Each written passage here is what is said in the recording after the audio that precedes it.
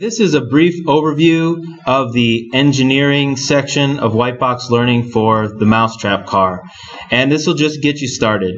So basically, when you go to the engineering tab, you need to click on the eyeballs next to the four parts of your car so that they show up.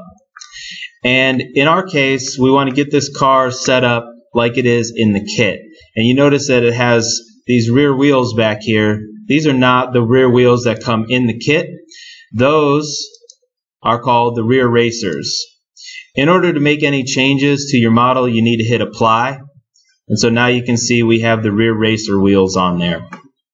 Also, we have uh, an aluminum axle and a couple of other changes you can make to get the car started. I'm not going to go into all that. I just want to show you how to do everything. Once I hit the wrench here, I can make changes and then hit apply. In order to get that wrench to go away, I can't just click on it. I need to hit done. Once I hit done, I can have a bunch of these out at the same time. So I can scroll through all of them if that's easier for you, or you can just have the one that you're working on. Uh, if I want to make this lever arm longer, I would just, let's say it's 125 millimeters. I hit apply and it changes the model. A couple things that you can run into when you're making changes. If I change my front axle, for example, uh, and let me go down here and show you this. If I click on this little rotate icon, I can hold my mouse down, uh, my left mouse button, and I can move the model around so I can see it from different angles. Now this gives me a better view of the axle right here. Also, if I click on the zoom, I can hit the left mouse button to zoom in and the right mouse button to zoom out. I zoom in, I want to make this a little bit shorter. And if I change this axle length to 50 millimeters and hit apply, you notice it jumped to 64.45. That's because I can't make my axle with less than the width of my chassis rails. Now, if I go into custom mode, I can change my chassis rails. It would remember that I wanted 50 and it would move it back down. All right, now you have lots of other tools that you can use. I use the powertrain analysis quite a bit. One thing that we've learned is you need to try to get this powertrain inside this green area. And there's lots of changes that you'll need to make to your car. I'm not going over that right now. I just want to show you some of the tools. Also, my mass analysis. So this is a chart. That's when I hit the eyeball, I see the chart. Uh, so it'll give me a reference, but it doesn't tell me exactly uh, what's changing. If I click on the wrench, I can see the exact mass of each of the parts of the car. So right now my frame is at 6.13 grams. If I'm going to take my axle, I'm going to go back to the chassis, and I'm going to reduce the chassis length down to 200 millimeters.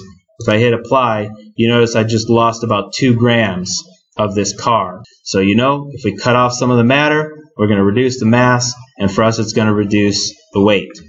So you can see some of the different analysis here. And I wouldn't have all these up. They just get in the way. Only use the ones that you're uh, working on at the time. Otherwise, it's just going to clutter up your screen. Once you've got a car design that you like, or at least that you want to test out, go to File, go to Save. You can name it. So I'm going to just call this Mousetrap 1. And I can also say this will be my baseline model, and I can put notes in for each of the changes. I can just save a working copy, or I can save it again. I can save it into the competition, and that will allow me to race the car. If I jump over to the competition, I can see how it performs. You see I'm staged now. I can be contender one and contender two, so I can race against myself, or if there were other student cars here, I can race against someone else. I hit start, and it's going to bring us up to the starting line.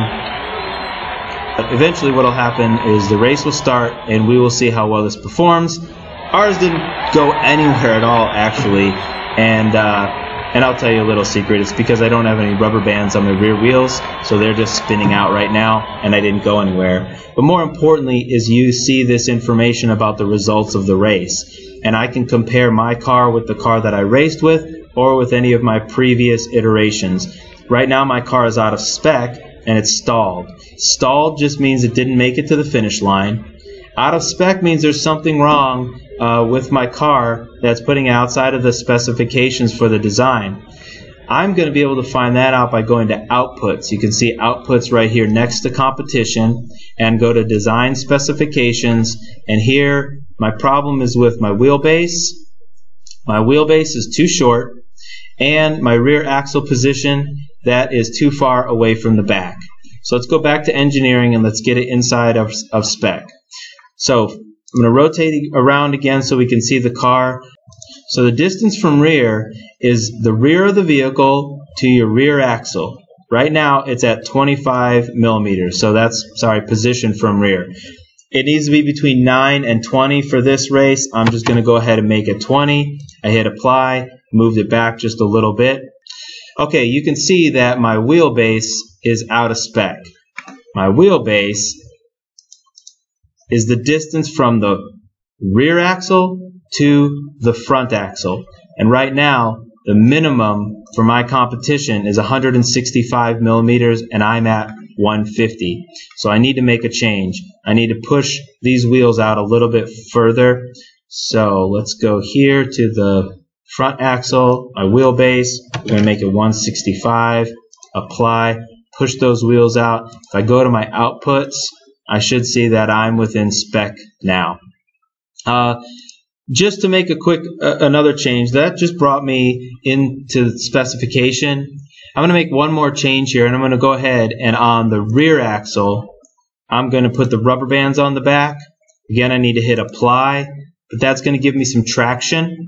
And I want to go ahead and race this now and see how much difference that makes. It's a good idea to only change one or maybe two things uh, and then check how your car performs. If you change too many things, you won't know what actually made the difference. Whether it was good or bad, you won't know what made the difference. So it's good to race a bunch of times and have a bunch of iterations. I'm going to go ahead and save this here. And here I'm going to put added rubber bands to rear axle. Okay. And then I can save and enter the competition again. I can go back here and I'll race one more time. I can reset. Time one and two, hit start.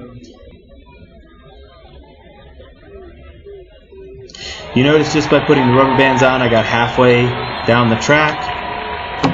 I'm not showing you how to build your car, I'm just showing you how to use the application. You get to decide how to build your car and get it across the finish line.